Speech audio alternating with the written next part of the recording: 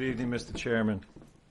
Governor of the state of New Hampshire should apologize for his attack on Martin Luther King Day on the town of Hampton, New Hampshire.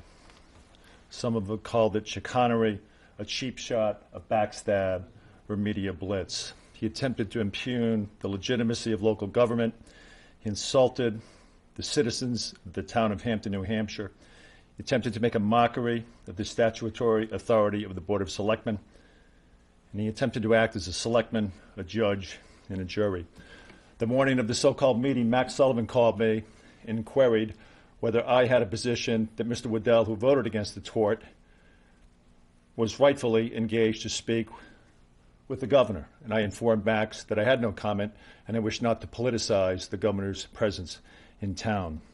That same morning, I called the governor's office and I spoke with Elliot, th- wishing to thank the governor for his appearance in Hampton, and further, to inform him that I would be performing duties as a state rep and as a selectman about the most important matter in the seacoast of New Hampshire, if not New Hampshire, which is the Seacoast Cancer Cluster, the deaths of children, and our water supply, where I was in attendance at the Portsmouth City Council.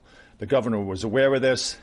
The governor came down to this meeting and he put on a dog and pony and falsely asked for my name when he knew that I was in attendance at the Portsmouth City Council doing the citizens' work on Martin Luther King Day.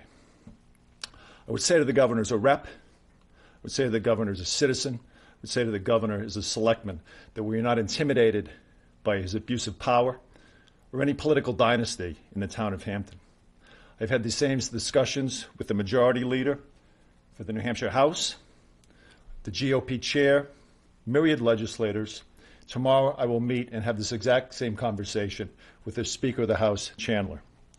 There are many Americans and many, many Hamptonians that have served their country in far greater peril, in far greater hardship than any political dynasty or Governor Sununu's family. I want to speak about Captain Falcone, that Fal- the Falcone Circle in this town is named after. He's a Hampton native. He was a Marine. He was commissioned in the Army and he was eviscerated on a ridgeline in Vietnam in 1964.